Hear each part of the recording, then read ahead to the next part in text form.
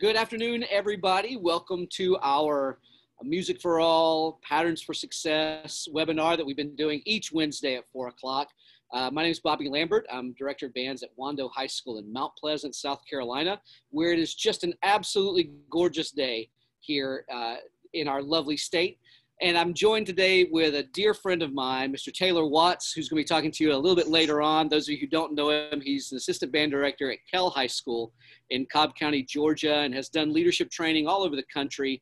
Uh, teaches with us at the summer symposium. Is just a, an incredible resource. And I'll talk more about him in just a second, but I want to make sure I introduce Cecily Yoakum is with us again. She's our grand uh, technology master here, controlling all of our uh, our, our stuff coming to you. So thank you, Cecily, for putting out the information to make this possible and for helping us to make this go.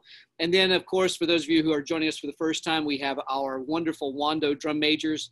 Uh, Anna, Audrey, Caroline, and Gavin are here. Anna is a senior, and the other three are juniors. So I get the pleasure of having them come back again next year. Uh, and we're kind of in the midst of drum major auditions and leadership uh, auditions and interviews and all that good stuff right now. So I bet many of you are too.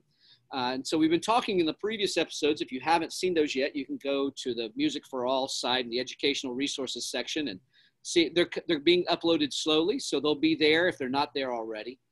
And check out some of the the webinars that are about particularly audition materials and getting yourself ready. Uh, in next week, uh, one week exactly from today and right now, we'll have Koji Mori who is also a, a band or an orchestra director from Cobb County, Georgia. He's the director of orchestras at Harrison High School down there. He is a former DCI drum major with uh, Phantom Regiment, famous for his Spartacus show of several years ago. If you haven't seen that, go check that out. One, an incredibly passionate conductor and teacher. And so we'll be talking next week about some more conducting specific topics. But this week, we wanted to hit something for all student leaders about um, communication. If you remember from uh, uh, two episodes ago, we talked about the three facets of student leadership one being character, the second being content, how well you will perform and play, and the third being communication. And I purposefully left a lot of gaps in that communication sequence because I knew that we were bringing on Mr. Watts today. So we're going to start with kind of a three part episode. So the first part, the first 20 minutes, are going to be devoted to just foundations of communication. We know that many of you are wanting to ask questions about conflicts and specific conflicts. And we're going to get to that in the second block, the second 20 minutes. And we'll even open it up then to allow you to ask some questions. The drum majors are here to help us kind of uh, funnel those questions to Taylor. And so the last 20 minutes will be devoted to specifically that. So without further ado, hopefully everybody's in now. Uh, we can get started. I'm going to let Taylor introduce himself just a little bit more, kind of tell his history about, uh, you know, where he was leading before and some, some experiences he's had. And we'll jump right into the foundations of communication. So Mr. Watts, please tell us a little bit about yourself. Sure. Um, first off, thank you so much for for coming and watching this and being a part of this, and thank you guys for inviting me on board. I'm just super excited to be here. Um, my name's Taylor Watts. Um, I am currently the associate director of bands at Kell High School in Marietta, Georgia. Uh, before that, I went to the University of Georgia. I was drum major for three years there. Uh, before that, I did uh, the drum major. I was really fortunate to get a chance to be drum major of the 2009 BOA um, Tournament of Roses band, honor band. Um, before that, I was a drum major at the for three years, actually at Harrison High School, where Koji now teaches. Um, so I've I've had a lot of opportunities to learn from and see some pretty fantastic educators and and leadership specialists in my time. Um, getting to be a leadership team member so young gave me an opportunity to see a lot of really fantastic stuff. And i know how much that changed my life when i was you know 14 15 16 17 years old and how much has continued to shape what i want to do as an adult. So um, all of the leadership stuff that i've been able to do in the last seven ten years or so is kind of uh, evolved from that. Just been sharing the knowledge that i've had the opportunity to gain from others and maybe a little bit of the wisdom that i've come to uh, learn from my own mistakes and mishaps. So yeah that's me. So taylor we I know one of the things that you focus on, uh, for those of you who don't know, when I hire a leadership consultant, I bring in Taylor to work with us at Wando. And one of the things that I know we wanted to talk about uh, is kind of the intentionality of communication and, and some of those things. When you start talking with maybe newer student leaders about communication, where are some of the places that you start? What are some of those foundational exercises or ideas that need to be in place?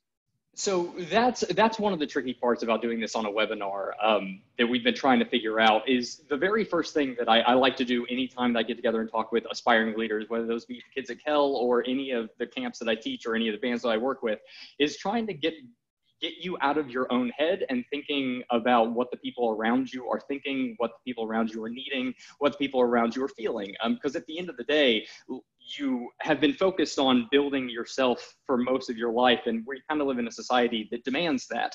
Um, we put you in sports at a young age and tell you to be competitive and then we in elementary school track you into target classes and normal classes and then you get to be in band but right away we put you in chairs. And we live in this highly competitive society where people are kind of brought up to think about how can i maximize my time or how can i maximize my effort? And the the main trick about leadership is that you have to kind of turn that part of your brain off and start thinking about all of the people around you and how and that part of their brain in their head. Um, so one of the places i really like to start this is kind of the thing that first inspired me when i was about 14 actually at mfa summer symposium um, several several years ago um, was a, a, little psychologist named um, Abraham Maslow and his triangle uh, hierarchy of needs. Uh, Mr. Lambert, if you're able to pull that up, this is just kind of where I like to start when, when I'm talking about it um, from a standpoint of helping people understand like what's going on in people's brains. So that base level of Maslow's hierarchy, if you've studied this before, I'm going to go through it pretty quickly. If you haven't, this is this was revolutionary for me. Um, at the base level of anybody's hierarchy of needs are those physiological or biological needs. So you need food, you need water, you need oxygen, you need warmth, and you need sleep. If you go for any length of time without one of those things, you are going to be dead. Um, so none of the other things in your life can matter as much as that base level of need. So um, a lot of the times when you know you are hungry or you haven't eaten or you didn't get good sleep and you're not making decisions that are in your best interest or other people's best interest um, we we will jump to conclusions about oh well this is part of our personality or this is they're just being rude or they never liked me anyway when in reality sometimes it's just that that basic level of need wasn't met either for you or for them or maybe for both. Um, the need above that the level is safety needs or the need to feel safe and secure in your environment. Like I, I think if you're on this webinar, you're probably engaged and you are devoted to learning your craft better and you want to impact other people like people before you have impacted you.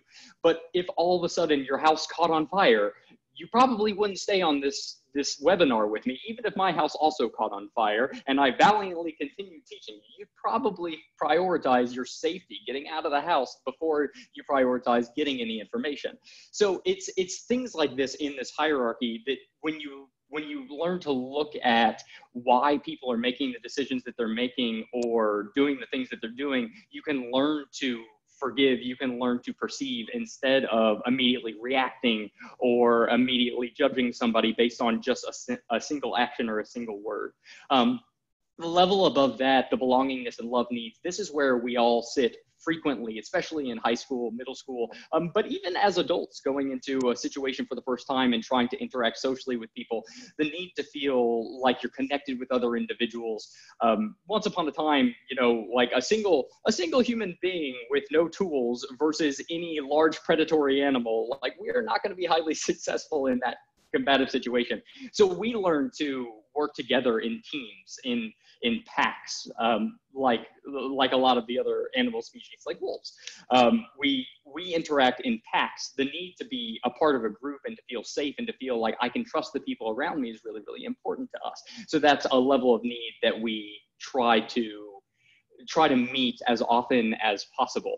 Um, you'll notice though, like that level of need is up on the third level of the pyramid. So down in physiological needs, if something were to happen where you didn't get a lot of sleep the previous night because you were studying or because you had an issue with your family at home, or maybe you just woke up really late and you didn't get a chance to eat something and you get to school and somebody like makes a comment at you that is totally innocuous, totally not threatening. But sometimes we end up reacting in an aggressive way or in a defensive way or in a snotty or snide or sarcastic way. And you look back at that situation, you're like, that's not me. Why did I do that? And the whole reason is if you look at this pyramid and how how things prioritize themselves inside your brain, if your base level of needs aren't taken care of, it's hard to interact with other people. Our brains don't prioritize, oh, well, I'm going to do what's socially useful to me if the base level of needs not met. And other people work like that too. The level above that, the esteem needs, uh, these are the kinds of needs that are met when you feel like you have a purpose, like the needs that are met when you feel like things that you do actually have an impact on the world around you. Um, it's it's like I, I usually use this example in person, so it's a little less personal over over a speaker. But like if I were to say to Mr. Lambert, I really appreciate all the mentorship that you've provided me in the last several years. Um, it's as a young professional doing something that doesn't really have a blueprint, like leadership speaking, it's been really nice to have somebody who's devoted to helping me improve and giving me opportunities like this speaking to you guys or like coming on board with MFA at the DMI, those are opportunities that I wouldn't have gotten without you. And I really appreciate that and the personal time that you take outside of those camps to keep up our relationship. That means something to me. And, and it's nice to have somebody genuine like you that's willing to invest in the people that are watching this webinar with your drum majors with me. I, I appreciate that about you. Um, and that's all kind of weird and it sounds scripted when you do it over a webinar, but those are things I genuinely think about him. Now, does that help him in terms of like being an animal and surviving in the world? Not really. I hope it makes him feel good because he deserves to feel good for those things, but it doesn't really help you survive. And yet, that is a level of need that every single human being shares all the time, and we don't often address it. Um, we forget to tell people how much they mean to us. We forget to say, hey, um, I really appreciate Caroline. How many times that I recall in those sessions at, at Wando and at DMI when you would make direct eye contact with me and you'd sit really close up front. And every time I got nervous about things that I was saying, I remember when you would look up and nod or smile or react in some way to give me that back that energy. Like we forget to say that even though that's an important part about building those relationships with other people. Um, it's it's amazing when your when a primary focus for you is making other people around you feel good how other people will want to spend more time with you. That's kind of part of the equation. And in that i think that's really important to, to note like i think some of the folks that may be freshmen or sophomores that are on here underestimate the power that you have just in a smile and a nod. And and for for us adults who have been doing this for a long time it, just your positive reinforcement of us in front of you is a really big deal. So even when it's you know that that director kind of you know trying to say something just the way that you look at them and give that personal feedback of yes i understand or i'm not quite sure but i'm going to listen is huge. It's it's such a big deal. You can't underestimate the power of your leadership skills, even when you're not saying anything, especially when you're not saying anything. It's enormous, no question. Um, body language is a huge part of this, and it's very, very hard to do over a webinar. But if you've ever conducted or you've ever watched a conductor, or if you're looking at my face right now, um, when I talk to my friends, I don't uh, just sit here and talk with a very blank expression on my face. I, I generally over exaggerate a lot of things uh, facially, or I try to keep my arms open instead of closed, or I try not to hunch, or I try not to cover my mouth. There's so many small things that we don't really think about, but it's as Mr. Lambert was talking about in terms of intentionality. Um, when you start getting in the heads of the people around you, it's really, really important that you start thinking about how am how are the things that I'm doing affecting the people around me? And that's that top level of the pyramid. Maslow's self-actualization talks about achieving one's full potential, or including uh, or reaching one's purpose in life or fulfilling the thing that only you can. But at least at our stage of like peer leadership, I think it's really simple. Like we talked about your triangle and filling your your physiological needs, your safety needs, your biological needs, your self-esteem needs. But then once your triangle is filled, the whole point of leadership is to then pour yourself out into other people in their triangles. To be thinking, okay, that kid snapped at me when I asked him to do something on the field, but why? It's not because he's a jerk. It's not because he doesn't care. Um, it's probably because something is not being met. Maybe he doesn't feel like we have a strong relationship. Maybe we don't. Maybe it's that he doesn't feel safe getting criticism in front of the rest of the group because he has a, a lot of internal doubt about his ability to march and play or his ability to memorize dots or uh, or maybe it's as simple as i didn't have food at my house this morning. My situation's a little bit rougher than than a lot of people around me and and i'm just my brain isn't thinking about all the things that you want me thinking about right now. So when you start thinking about what other people are thinking and feeling and then acting intentionally in their interest um, that's when people will start respecting, listening, caring. There's an old adage that nobody know nobody cares how much you know until they know how much you care, and it couldn't be truer. Um, you can have all the information in the world. I mean, anything that we're going to talk about on this webinar today is already on a YouTube video somewhere else, or is already in a book. Things aren't crazy new, but we're not going out to seek it from people we don't know. We're impacted by the people that we do that make intentional choices on our behalf to benefit us. So, I think that's that's where to start. That that all of those all those things are kind of the the thirty thousand foot view of communication, mm-hmm. and it's really important that we start there. I know that that's a lot of information, but it's it's for me crucial that that folks understand. And I'm I'm talking about from seventh grade on. Uh, I, I talk about this with my my fifth grader, my oldest daughter um, about how you have to be aware of other people and understanding that you know there is the thing about here are the facts of the situation and then here are the reactions of the situation. And sometimes those don't line up. Uh, you can have people in your group or you can have a thing well you know the director we can tell when when they're mad because this happens. And we know not to do this when they're angry and we know that it's okay to do this when they're okay. Like uh, my drum major's even kind of grinning a little bit. I'm sure they they I, i'm a terrible poker player so I'm sure that I have my tells of what, you know, how, how I'm feeling. But the point of going through this Maslow thing is I think sometimes we as directors get put in the place of where like, okay, we make a mistake or we lose our temper. And I've seen kids like, okay, well then I'm shutting down forever. How dare you do that to me? I think it's it's silly for any of us to think that we can be calm and cool and collected all the time, every day. I, I know I can't do that. My kids can't do that. My students can't do that. So I think one of the first things that we would start with is to say that, you know, communication with adults, you need to come from a place of we're all humans. Right. We're all humans. And there's a right time and a wrong time. And, and we want to give you some ideas about how do you figure that out. But then once it's the right time, how do you approach an adult? And then then we'll segue into how do I talk with students that are older than me, students that may sit a higher chair than me. You know, he's talking about the competition side of that. Whether we like it or not, many bands have that kind of pecking order of it's seniors, then it's this group, and then it's that. And how do we navigate those waters? So let's start particularly, Taylor, with um, you want to go in and talk to your director about maybe some kind of leadership project you want to do or some you know let's let's keep it positive at 1st mm-hmm. how do people do that? What's the right way to approach and communicate with adults? And it, how is that different from young people? Oh man. It's, it's a great question. And and i think to highlight focus in on like treat everybody as human because everyone is human. Um, i think that's one of the things that we miss a lot of times especially at a young age. Like you go in and you're you're talking to your director and oh it's the director but that director is human. That director was your age once. That director only makes decisions based on what they know and what they can perceive as a person.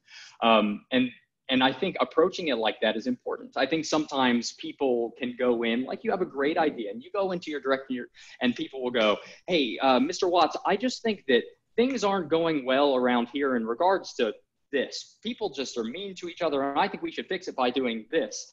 Um, and and right away, it's easy for somebody like me, a, a, director who's in charge of the program, to go, whoa, whoa, whoa, whoa, P- things aren't going well here, and to be defensive right away because the program is a reflection of my leadership in a lot of ways.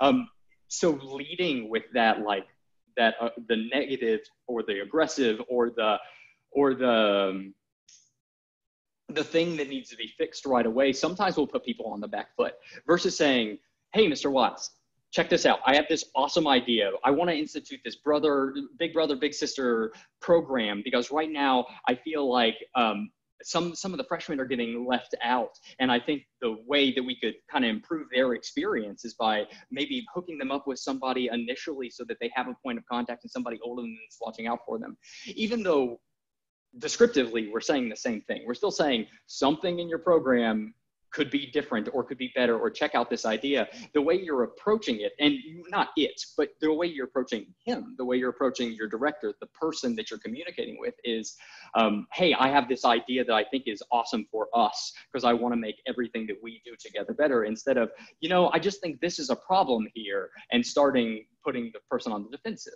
Does that make sense? Absolutely. So the idea of trying to keep things um, either positive or professional. That's kind of mm-hmm. where that where the range is. You know, if it can't be positive, it can at least be professional, where we deal with facts or things rather than people. Just that mm-hmm. idea of this stinks about the program, saying, or, or, this kid, this kid is a problem. Saying, mm-hmm. okay, we, we have a problem with this. We have a problem mm-hmm. with respecting leadership, and I have an idea the other side that you you know uh, you know keep it professional to positive but the other side that i liked of what you said to that was here's my solution right. um, i think as a director when people come in to just complain um, i want to listen to that but i also don't know that i leave that meeting with a whole lot of answers and it's something that's i'm going to take time with i'd much rather somebody come in and say hey here's here's this issue with this facet of the program and here's one way that I think we might could address that. I think anybody who's ever done that with me finds that I'm I'm really on board pretty mm-hmm. fast. If you have something that you can do to help and you're willing to do, that's a big thing. So so keeping that positive professional idea there, but also being able to communicate solutions at the same time. Uh, coming in with a complaint is it's not you know, it's like the old old time. They used to have suggestion boxes on the the wall, hmm. and there was an old cartoon of where it was like just went to the incinerator, so people would drop the the notes in there, and it would just go and be burned up forever because nobody wanted to hear the complaints. But people do want to hear suggestions of how to get better. So whenever you can commit uh, communicate with a director with a problem, go to them about here's an issue, but I think here's a solution or if you mm-hmm. can't do a solution just asking for help like i need your help in how to deal with something i don't want you to deal with it i need your help in how to do this and i think you're going to find when we transition over to talking with peers a lot of the same rules apply i think the only thing that's different is maybe the language that you might use and i'm going to have taylor finish up this thought i'll start it and i'll let him finish being concise and precise are two different things concise means the, the fewest words possible. Precise means it's the most accurate or whatever. And I know the math people are going to say, well, there's precision and there's accuracy, and those are. I, mean, like which one is closest to true, and which one is the briefest. So I like it when students have kind of thought through. I've even had students come in with a sheet of paper saying, I want to read this to you and I want to get this out correctly. And they'll read through it and say, There's a I, I'm having trouble with this. I need your help to figure this out. Here are the issues and then they look at me and i'm like okay we can deal with that do you have any my point is when you talk with a director you have to remember that he or she is listening to all the people in their band your parents their administrators their community leaders like just tons of people so the more direct that you can be the cons- more concise you can be the better so don't go in in an emotional outrage I think that's the worst time. Like, let go deal with that at a different time, in a different place. I, I talk with kids, go cry in your pillow. Then get your thoughts together and come to me. I said that to my eight year old last night. Like, she was having a meltdown because of this math online thing she was trying to do. I mean, absolute, utter meltdown. And I was like, okay, go to your room and flip out all you want. I don't want to see it, but I know it needs to be done. So go do it. Then, when you're ready, let's come back and let's figure out what the real problem is. So, as we transition talking from uh, student or for directors to student, I'm going to let Taylor talk about that. But before I do, if you have questions, I see some of you already putting some up there, especially in regards to conflict. This next portion is going to be about peer communication. And then the last 20 minutes are going to be some answering of questions between Taylor and myself. So if you've got some of those, maybe go ahead and start thinking about them, formulating them now, and putting them up on the question answers. The drum majors will be answering and collecting like we had several of these questions. Could you address that? Okay, so Taylor, take it away. The idea of peer-to-peer communication. What are the similarities with the adults? What are the differences, and how do we approach that? Sure. Well, I, I think I think you actually segued into it really nicely from when you were talking about coming in with solutions and being concise and, and but also precise. It's it's really important, um, at least to me, when students come in with a with a complaint or with a concern, it's really important to me that they've thought about the entire situation and not just their perspective of the situation. Mm-hmm. Um, I, I can't tell you how many times I've had a student come in and say, I'm having an issue because I feel like this person is doing this. And the, the simple question is, well, why? Why do you think they're doing that? And if there's no answer, you're not ready to talk yet. Um, and if the answers are only negative, if the answers are only, well, I think they're selfish or I think they're jealous, then you haven't thought hard enough. Um, one of the things that I, I heard once upon a time that I really appreciate is that nobody is the villain in their own story. We are all our own heroes. Um, it's and the people that that we don't agree with at the time can sometimes be perceived as a villain. And when we let ourselves perceive the other side or the other person as a villain, then we almost dehumanize them. We don't try to empathize or, or understand their point of view. And then we're, we're totally at a combative place. Um, my side is correct, your side is not. There's no, well, this is how I feel. And I understand that you feel this way. So how can we put these together? Where can we meet in the middle? How can we how can we resolve and absolve each other and go forward with a relationship. Um, so that's the place to start with peers. Um, I mean, with directors, for sure, remember they're human, but with peers, you people want to be heard. Um, and this is something that you're going to be dealing with forever. Right now, it's peer-to-peer in high school band, but one, eventually it's going to be peer-to-peer in a marriage or peer-to-peer in a workplace environment or peer-to-peer in you name it, an organization that you're part of. And it's so important for you to be considering at all times, especially in conflict, why are they acting the way they're acting? What are they thinking? What are the motivations behind what the decisions that they're making? Um, Taylor, it's what I want to interrupt you just for a second sure. and ask this. Let, let's pretend that, you know, I think that all of that is working really well for folks that maybe you don't know yet, or maybe you're just starting to have a, an issue with the next question I'm going to ask you is I bet that there are several of our listeners that have that mortal enemy in the band, that kid that they just can't stand. Like, how do we do that? And you, you started to go there, I think. And what I was going to ask is if we can't figure out the motivations of others, for me, I think it's okay to ask. Absolutely. Like how how do I approach? You know, I'm I'm dealing with my mortal enemy, right now in the band. We're the same age, we played the same instrument, and we've never liked each other since middle school. But now we're the two section leaders. Mm-hmm. Like, how do I how do I start building that relationship? Is relationship important? Can we just be leaders together and oblivious to each other? Like, how how do we start to do kind of you know, I know we're going to get into the conflict thing a little bit, but I, I Taylor and I got to talk yesterday, and we said if you're at conflict, you've already missed some of the communication steps. So let's pretend that you know we're not fighting directly, but we just don't like each other. Mm-hmm. How do we how do we start to maybe patch those fences? So th- that's a great question. Very multifaceted, very difficult to deal with um, from the standpoint, uh, from a couple standpoints. But primarily, if you feel like you have an enemy, you need to do something right now. Um, there aren't, I, I legitimately don't feel like growing up I ever had enemies. Um, I had people I disagreed with. I had people that I didn't value the same things or that I thought their values were outside my system. Um, but if, if you've gotten to the point of enemy, there's something you need to do. Um, and I, am under no delusions that everyone is going to be best friends. Like it's not a utopia. We're not all going to be best friends. We're going to have different ways to approach things and and different views on what we think is important or how we think the best route to do something is. But if you're a section leader with somebody that you haven't seen eye to eye with in a long time, there's a couple things that probably need to happen or a couple of different ways that you can handle it. Um, the first, like he said, is you have to open a line of communication. And sometimes that's really difficult. Sometimes it can be you know, I, I feel like the last time we spoke, it ended really negative and they did this and they never said sorry. And I'm not going to be the first one to speak. But chances are, if you feel that way, they probably also feel that way. And if nobody's willing to take a step towards movement, towards opening a line of communication, you're you're kind of out of luck. And I don't, I I think anybody who's ever been part of a team with leaders who aren't on the same page and obviously aren't on the same page, you end up dealing with schisms in in the group. Um, you'll have people that only respect this person, people that only respect this person, and I think both leaders can recognize that's not going to be in the best interest of the band. It's just not.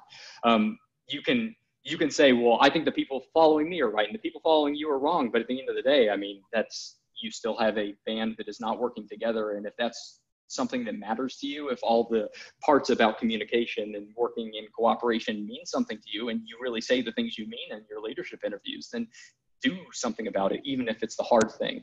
Um, so I would open a line of communication, and it can be very real. It can be like, hey, man, look, um, we haven't talked in years. And or every time we talk like it's aggressive or i feel like you know i every time i see you be successful or or I go out for a chair test like i want you to fail and I think that's a problem. I, I don't want to feel that way about you. And I don't want that to be something that, um, that we experience together. We're going to spend a year together and the band is either going to grow or wither um, with us. So I think it's important that we sit down and chat. And um, I think being open and honest about the things that you're feeling, but the things that you've done to hurt them is also really important um, I think that's one of the strongest components of conflict resolution that you can possibly reach is I, I realize that I did this thing and you probably felt this way about it. And I'm really sorry.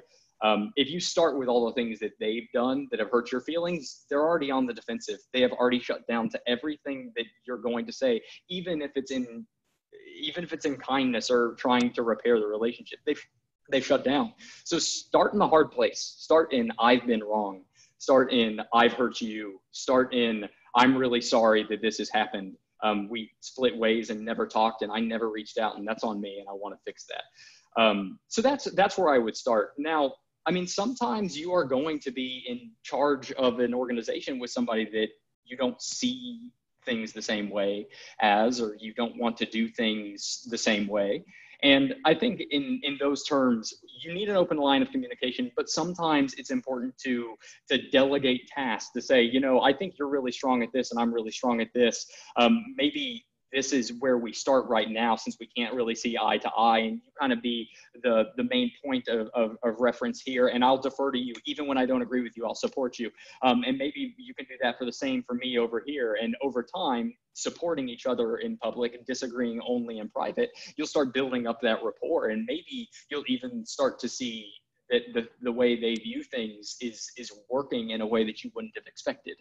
Um, or maybe it doesn't and maybe they see that and they come back to you for help or advice or assistance but supporting each other in public and then disagreeing in private is an important component there and then sometimes you need to be able to talk to to people as intermediaries. Um, sometimes you're in a place where you don't have very a very good relationship with somebody, but it's still important that you have good rapport or influence with them. And sometimes that's talking to somebody else. Um, I've definitely, as, as a high school student, I had a, a soft, I was a sophomore drum major and I had a sousaphone member uh, who was a senior who, no matter what I did, was not going to respect me or listen to me when, when I had a problem or when the band directors asked me to do something. So instead of dealing with him on a one-on-one basis, a lot of the times I, I had already befriended the tuba section leader. And whenever I had an issue with the tuba player, I would go talk to the sousaphone section leader and say, hey, man, um, I'm really having a hard time. The directors want me to talk to him about this, but I don't think he's going to hear it coming from me. Would you mind maybe touching base with him since you guys have a relationship? And that kind of triangulation strategy is, a, is another way. But don't ever get to the point of, well, there's just nothing I can do. The second you throw up your hands in conflict, you're right. There is no solution. Um, right you, you have to be willing to keep trying and you can't villainize people. You have to realize that they're a human and they're doing things for something that makes sense in their own head. Well, Taylor, I want to before we jump into the conflict resolution, uh, conflict management, not resolution, because I think one of the things that we're going to tell you that may blow people's minds is that you may have you may be engaged in conflict with somebody and it never resolves itself. It's just mm-hmm. simply managed. Uh, that's that is a reality of life. But what I wanted to do, one of the key things that I, I missed that Taylor does, I think is so important is let's pretend, let, let's go to an easy one now and let it, let our brains simmer on a lot of this information. You, you do a great process of meeting people for the first time. Like what does a leader do to get to know someone who they don't know before? And I've really used this. We've talked about this quite a bit at Wando about it's a great first meeting thing, but it's also great for the third and fourth meeting. And here's what we we talk about. Like in our ensemble, we're large enough to where you could be in the same section with someone and not really know them. You know, we talk about do you know their middle names? Do you know their favorite sport? Do you know their favorite hobby? And if you don't know those things, they're not important to you. You can say they are, but that's you're you're full of it. That's just not that's not what it is.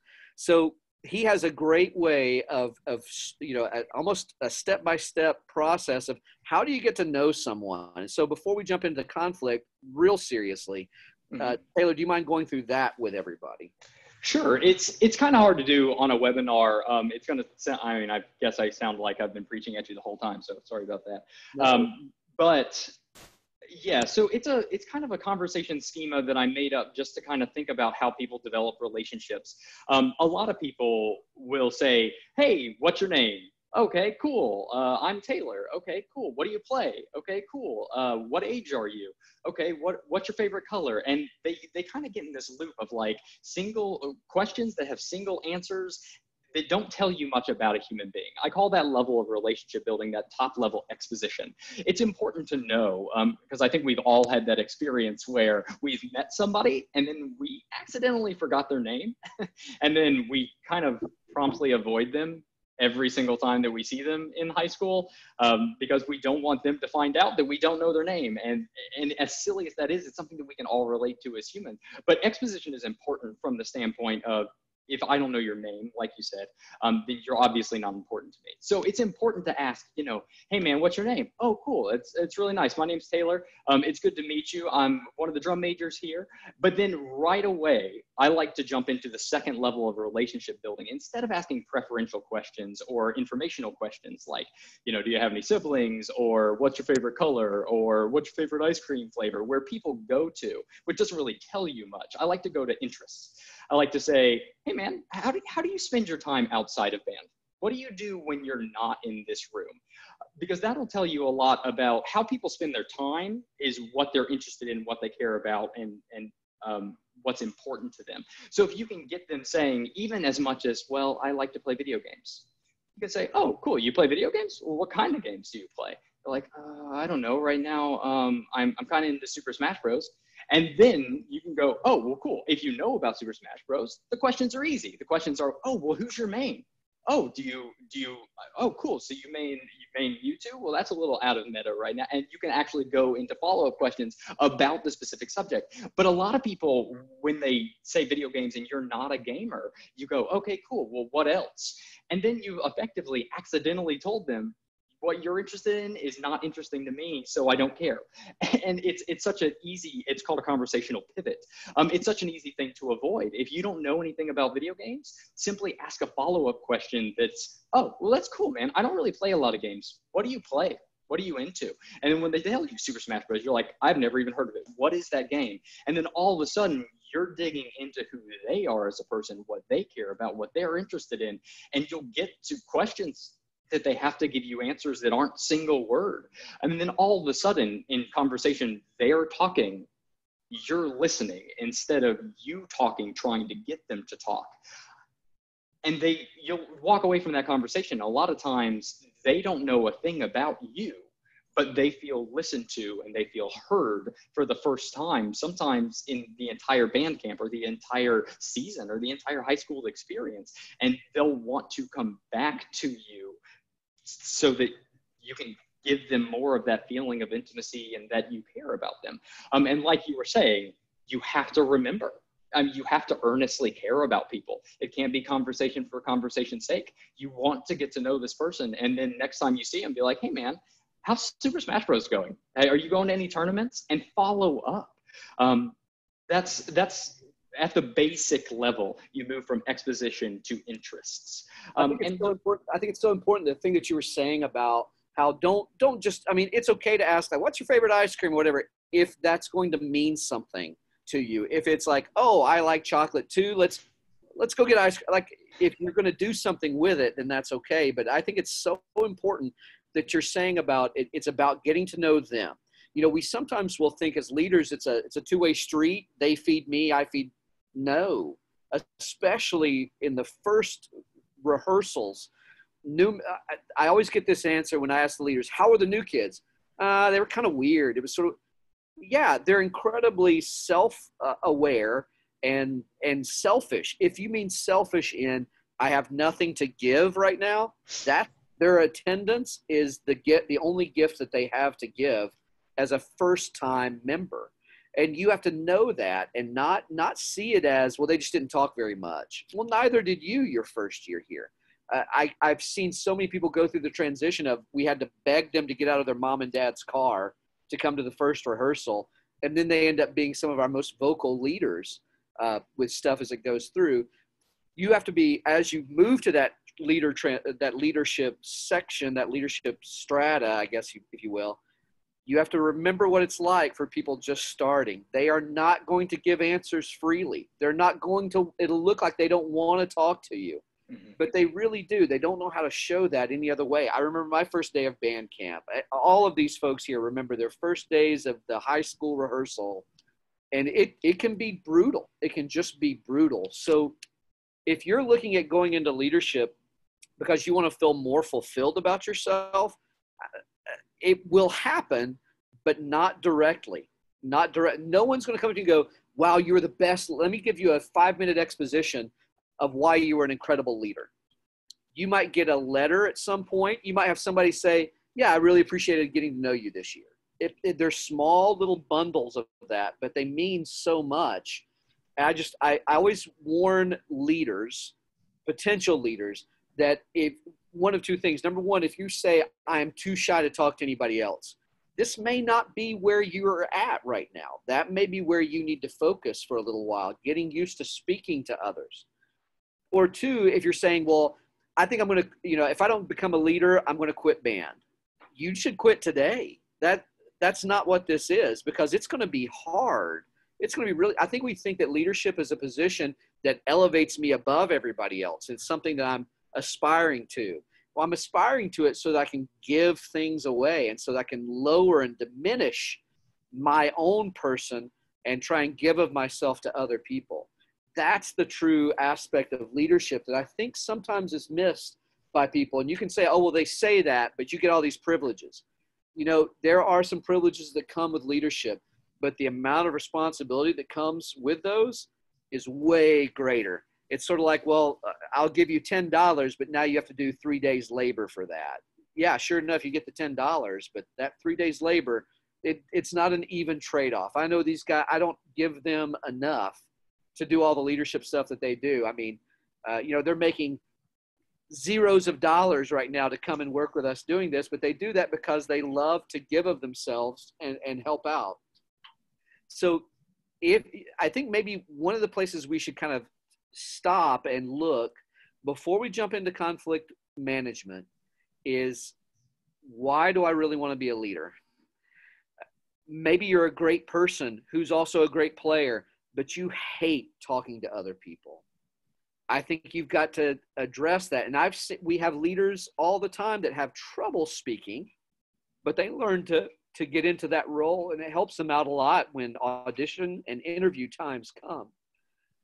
But if you're the person that's like, well, I'm wanting to get leadership for me, I want something out of the the process. I, I think you're going to be sorely disappointed and get really jaded really quickly if that is you, if you're a person that's like, well, I'm bored with band, I want to try something different, um, I would say, why are you bored? What are you bringing to the table? What are you making better? Maybe forget about a leadership position and just be a leader. Like I'm, I want to start, like we were talking about that uh, older brothers, older sisters. We've done a ride share program at Wando with certain sections that people have handled beautifully. We've done individual lessons and master classes student to student like maybe that's what you want to do but I think now, before you get into the nuts and bolts of conflict management, because it's hard, it, you have to really swallow your pride, and and you you have to humble yourself down. The only way that you can do that is if you earnestly feel like I want to be a leader to help our program and help its people. If that's not part of your motivation, um, this is going to be really rough. It's going to be really rough. So with that being said, we're gonna we're gonna ju- I'm gonna give Taylor just a little bit of time to do some of the conflict. I mean, we've done a lot of the con- conflict uh, management again, not resolution, but just management. I'll let him talk a little bit about that, but then we'll go right to the drum majors and ask what are some questions that you're getting that you'd like for Taylor to address to everybody. Taylor, uh, you know, let's go to the worst possible scenario. We've had a broken relationship in the group and let's even not be a part of that. Let's say that it's these a drum major and a section leader are no longer deeply in love, and I am a fellow section leader. How do I navigate some of those waters? What are the communicate? What are some of the communication skills, or what are some of the schema I need to put together to try and do this? And I don't know if they're, uh, you know, it's rough. It's really rough. But I think some of those are the most negative communication examples that we that I've seen. Sure. Well, it's it's rough from that specific standpoint because at the end of the day, the only people that can manage a conflict are the people that are in the conflict, um, and a lot of the time, it, it being on the outside, it's hard. it, it's it's hard a couple of things. You want to prevent the individual conflict from becoming a group conflict in that particular instance. Um, and the only way to do that in, in a small band, it's by having relationships with lots of people. In a larger band, sometimes it's kind of hard to, to have enough influence with the individuals to, to make sure that there isn't there aren't schisms forming. Um, but in that particular instance, I think it's important, especially in like a romantic breakup, which are so hard. At, at, at, we always, we always, as people go, oh, high school romances, middle school romances, but even as adults, romances, marriages, and divorces are still the hardest things. So I try not to uh, diminish. Like I, it's part of the human experience and one of the toughest things to navigate. Um, but in one of those situations, I think the best thing that you could do as somebody that's not in that situation is to listen to people. They need to be able to vent. The section leader needs to be able to say all the terrible things that they feel about the drum major that that they had an issue with and why this all happened. But in in after moments of hurt, after moments of aggression, after moments of frustration, sometimes it's important to say, okay, I, I hear that all of that is is happening and i hate that you experienced that. That is really terrible. But at the end of the day like that's that's happened and that's said and done. But a couple of things. Do you want that to be the experience for the rest of the year? Is you thinking about that instead of thinking about all of these people that are looking to you still for guidance, for, for inspiration, for influence, for any of those things. All of all of you being wrapped up in the romantic uh, breakup is kind of impacting your ability to positively impact the people that you got in this position to do.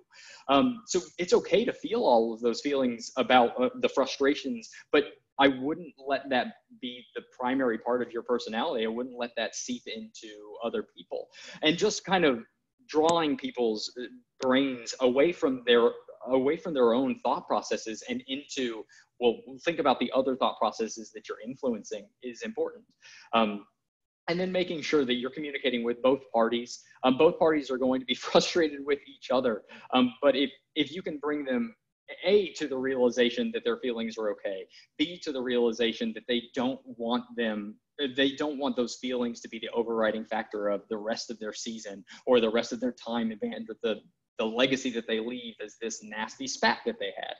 Um, and then third, eventually, if you can help them realize that there was a there's a reason that this happened, it wasn't you know like maybe it's just incompatibility or maybe the other person isn't this terrible person maybe we just weren't ready to communicate in a specific way in a relationship De- devillainizing in other way in other words the the other person so that you can still work together towards the same common goal you know there's a great great saying that a few people have used of keep the main thing the main thing And the main reason that our bands exist are to bring people together to make great music.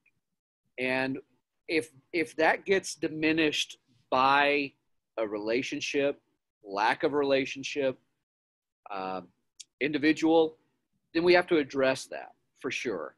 And so I think you know putting this all together, it's number one, what are your motivations? Is this about band or is this about a title or a privilege? Two, how far are you willing to open yourself up to communication, like getting to know other people? How important are they to you? Um, and, and how best can you address them? And then the other part of it is being able to de-villainize. I think that's one of the best ways I've ever heard say that. Of it's not me against you. We are in band. And our ultimate goal should be to make this great. Now, that may mean that you and I stay on opposite sides of the field. We don't ride the bus together. We're not BFFs. I think that's one of the things I would tell students is it's okay if you're not friends, but you have to be friendly or professional, however you best want to say that. And I would tell you that wasting time with uh, those kinds of things, like, well, this person did this in fifth grade, and so I hate them now or this person has done this. I, I, you know, sometimes it's just we agree to disagree. They'll do their thing, I'll do mine. Usually that works until we're in a section together and we have to kind of work those things out. So when you are there, it may be a let me go talk to a director, let them know we, here's a situation. How can I best influence the two of them? At the end of the day, if your efforts are going nowhere, you need to get a director involved because it's affecting a lot of other people and you're not asking them to fix it but again you're being concise and precise. Drum major a and section leader b were together now they're not and we're causing a lot of rifts. I want to try and influence that positively. How can i help? And you say that to mr and mrs band director and they give you some thoughts that because letting it fester, the longer it festers, uh, the worse it gets. Mm-hmm. So, with that being said, drum majors, my friends here, uh, are there any questions that you want to throw up to Taylor real quick so that we can do? I've seen a couple of them on here if you guys need a little bit more time, but do any one of you have one of the questions from the question and answer section that you want to throw at, at Taylor real quick?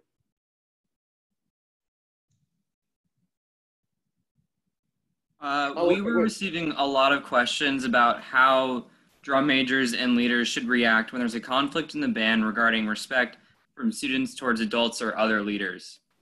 So I bet that's a thing where uh, there's maybe a staff member or a director that they feel like the kids aren't respecting. Like, how do they help them to do that? Right. So that's that's an interesting question and a tricky one. Um, uh, if, if a lot of teachers will, especially in their first couple of years of teaching, they'll have somebody challenge them and, hey, can we all do this? And somebody goes, no. And, and in that situation, there's like a direct conflict with somebody that's being disrespectful to you inordinately. And your first reaction is to be defensive and to try to be authoritative and to be like, well, I'm the director. I said you have to do this. But at the end of the day, everyone is human. I can't force a student or another person to do anything. I can provide consequences or punishments if they don't. But at the end of the day, if you don't put your instrument on your face and play, I can't make you do that. Um, so I think part of it is understanding like that you buy respect and you buy influence with people with the time, the effort, and the resources that you invest into them. Um, the more time that you've invested in someone, the more um, you have gone out of your way and and given to them in terms of effort or the more resource that you've invested in them. I mean, I have kids that I've given reeds to because they couldn't afford reeds at some point in their life. And the, the, the respect that you buy only through your investment is really important. Um, in that moment, yeah, like there are some awkward times where people will just um, be obstinate be like aggressively disrespectful. And to be honest with you, I think you only hurt yourself when you deal with that in the moment. You only, eh, or, or, and or if you deal with it publicly. If I have a student that's being obstinate, I'm never going to talk to them about it in front of the ensemble. I'd be like, all right, um, would you mind going and sitting in the office? Because obviously you don't feel like doing this. I have to pay attention to the other 70 people in this classroom right now. We have something we, want, we need to work out. Let's do it later Um, and and I would say it's something like that. I know that sounds superficial, but I really try to treat my my, my students as humans um, rather than as subordinates. Because the second you go, go to my office, we'll talk about this later. What if they say no to that because you were disrespectful in turn to their disrespect? You're going to call the administration? Like just approaching people as human and saying, look, this isn't working right now, and and dealing with it off the field. Um, and I think in a situation where like you're a section leader and someone's disrespectful to a staff member, let them handle it in the moment. I think you kind of jumping on, hey man, be cool. Maybe maybe not the most necessary thing in the moment because then you kind of cut the staff member off from reacting their own way. But I think it would be totally appropriate afterwards to be like, hey man, that was um that was a little hot. Did you did you mean to come across like that? Because I that was that was aggressive. It was really awkward for everyone, um, and just kind of being real with telling them the experience that they created for other people. Like Mr. Lambert was saying, the the whole game here is to be thinking about what other people are thinking, and if you can draw other people's re, uh, um, awareness to the impact that they are having on the people around them, uh, sometimes that's as much as you have to do. Final layer I would say to that, because I've experienced this a couple of times, is if there's a staff member that maybe when they're trying to run things, it's not working very well, and you've tried to be patient with it for a little while. That's when it's go to a director and let them know that, hey, we're I'm I'm ha- I'm having trouble keeping everybody's focus and attention with said staff member during this time. What can I do? Eh, do you mind talking with them? I, I know they they see it, but they're not quite reacting to it yet. Going to the director, don't talk to other students about it it's not a yeah. I don't. I hate it when so and so does the warm ups. I hate it when they do the technique block. No, like stop gossip at the very beginning. Only mm-hmm. talk to people that can affect change. Uh, you might be talking to somebody that can help you react better, or talking to a director who can impact something. Don't just talk to hear your head roar. Okay, uh, I think that that's a really good question. Uh, my other friends, do you all have a, a question that you want to share? Yes. So we have one about like having the right mindset for the band, both in concert and in marching season. So that way, how you can motivate people to basically try their hardest. Sure. Um, I think it's important. Motivation is going to differ for every human being. And a lot of people, a lot of leaders are like, why don't you care about band as much as I do? And uh, the answer is if they cared about it as much as you do and in the same way, they would probably be in your position. Um, everyone joins band for a different reason. Some people need that social fulfillment. Um, some people just really enjoy the activity of making music. Some people need the, the kind of esteem of contributing to something bigger than themselves. Some people just like to go on trips. The, but recognizing that everybody has their own motivation is going to help you approach people individually um, and kind of reach their need where they're at. If somebody if somebody's like, man, band just isn't fun anymore, then I mean, I think maybe ask why. I mean, sometimes people are like, oh well it's not fun because like uh, i just i feel like the seniors were really good and then they left and now it's not fun anymore. And sometimes it's like well i get that but like part of the magic of being uh, uh, in your freshman year is that the people older than you are trying to create this incredible experience on your behalf instead of an experience for themselves. So maybe the issue here is like we're not doing enough for to create to create the magic for them. So maybe instead of worrying about like it's not fun anymore because I miss my seniors, maybe you should focus more on being the senior for the freshman that's behind you so that they can have the same feeling you did. Um, and I mean, there there are there are mid-season slumps. Um, every every band hits that in September and October, where you're nothing is new, novelty has worn off, so it's not initially exciting anymore. Um, and when you're trying to motivate people, um, there's I mean, reaching people where they're at, sometimes reminding people about the experiences that they've had and the emotional payoff that is coming at the end of the season is important. And sometimes it, it's it's just getting them in the right place. Like uh, there there's times in September where we won't do a, a visual warm up. We'll just play a game. We'll just do something different and, and exciting and fun and silly um, just to put people in a different headspace to declutter and de-stress so that when they're asked to do a thing they've approached it with a new mindset there's there's no one size fits all to this but don't be careful about thinking, oh, well, they just don't care. Oh, well, they're not motivated. Figure out why they're doing this and and maybe use that as part of the motivating factors. Audrey, one of the parts that I heard of that is, and it may be not where they're coming from, but I bet some might have this issue. You have some that love concert band, don't necessarily love marching band, and vice versa. And I think, you know, you all have been at Wando long enough to where we really talk about how each one feeds the other. You know, if you listen to Chris Martin, principal trumpet of the New York Philharmonic now, he's a beast and he just doesn't miss. And he'll tell you one of the reasons he's like that is because of his time with Phantom Regiment. Uh, when you hear just incredible players, you find that they can play whatever genre you want. J.D. Shaw is a fantastic horn player at the University of South Carolina, but to hear him play jazz horn is phenomenal. So I would say that helping people understand, you can't just say, well, I just like concert band and I don't like marching band. You can say, maybe I don't like the physical nature of it, but you're still gaining great playing chops by doing the marching band side. So maybe that's a little bit of another way to approach that. I think we have time for one more, and then we've got to wrap things up. So, Caroline or Anna, which one of you is going to take us out? Caroline's got it. We had questions going back to talking about enemies, but someone was asking, how do you help others who are having enemies, not necessarily for yourself, but how do you help intervene with that conflict, or do you have a director handle it?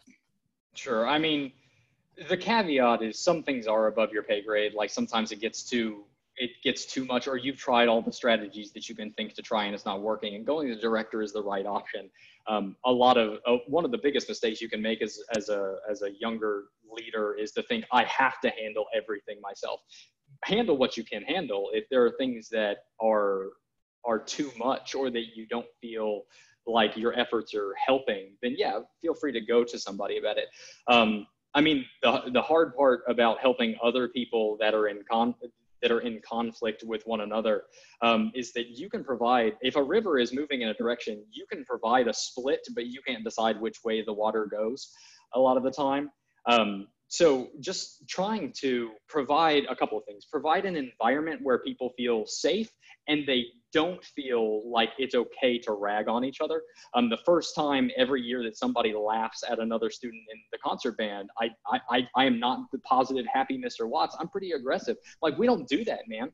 Like you can't be that disrespectful to somebody because it makes it totally unsafe for everybody else and we don't do that here. Um, so being aggressive in creating a positive atmosphere um, is, is an important part so that people feel safe to, to interact with each other. Um, and then just I, a lot of the time it's taking the time to help bring their awareness to why um, to why the other person feels that way. We've kind of talked about that. Sometimes it's as simple as you know, if I have two kids that don't like each other, I'm not going to sit them next to each other in concert band. I'm going to sit them on opposite ends of the section. Um, and and at first that feels fake, but it's in everybody's best interest, including theirs, to do that. Um, sorry, there was one more point and I've lost it. Um, Brains are going a million miles a minute while, yeah, while truly that thought. What I would say, uh, Caroline, I, I think the way to measure that, number one, see how many people is it affecting. If it's only affecting those two, I would leave it alone. Honestly, like let it let it kind of burn itself out. If it's affecting their sections or other people, I, I would say I try twice. Try two of the strategies that Taylor gave, and and if those don't work, that's when you kind of that's when you start. I need to move to a staff member or a director to talk about this because I think sometimes people don't know like when should I get involved. Well, when people that you are responsible for become affected that's when you have to get involved. You're their protector. As a section leader, as, as any kind of leader, you protect them. Like you guys have seen me at a, a contest before where somebody said, uh, your, your band can't come here. You can't do this. I get angry and aggressive with students, but I get way worse with any adult who tries to stop us or tries to or gets in our way or tries to hurt one of you. I'm like Papa Bear when that happens. So you as the leader have to be a little bit their advocate. So Taylor, I didn't mean to to not at all, but but go ahead and fit. I hope you got time to collect your thought. Yeah, thank you. The, I, and it's actually what you said. Um, I some of the time when people come back to a camp for their second year and they're like, "Man, I've tried so hard with this and I don't feel like I'm getting anywhere." I often forget to tell people not to pour themselves into people into buckets that have holes in the bottom um, if you're if you're constantly trying to pour into somebody and and they're not at a place to receive that um, sometimes that's you know they're stressed out and you're constantly giving advice hey you got to do this. Hey you got to do this. I really think it would help if you do this. And then the next week they come back and need the same advice because they've done the same things. Um, it's not healthy for either of you to keep in that reciprocal cycle. It's sometimes it's okay to say look i've tried to, to, to talk to you and to help you out with this, but I don't feel like what we've done together has really benefited. So I think maybe we need to bring somebody else in. Maybe we need to talk to a director. Maybe we need to talk to one of your your other friends or a counselor or a teacher. Um, it's it it don't. I want you to feel like other people are your responsibility because that's the only way that you're going to to care about others enough to get your your brain space out of your own thinking and start thinking about other people. But everyone is not your responsibility and you can't make everyone's life perfect because you want to and you have information to do so um, it's it's just about effort and then when that effort doesn't work a retransition well, it all goes back to what we said, you know, originally. Leadership at its core is about sincerity. Mm-hmm. So even if you mess up on some of these techniques, if you're sincere about trying to help other people, you'll be forgiven a good bit of that. I, I I've seen one of my best leaders of all time was this tenor saxophone player who was kind of a rough kid at Marion, And when we chose him as section leader, we actually did not choose him at the time of everyone else. We waited for the summer and into the next season to name him finally section leader because he was a goofball. I mean, he just he just was always goofing around. We didn't think he would be serious enough.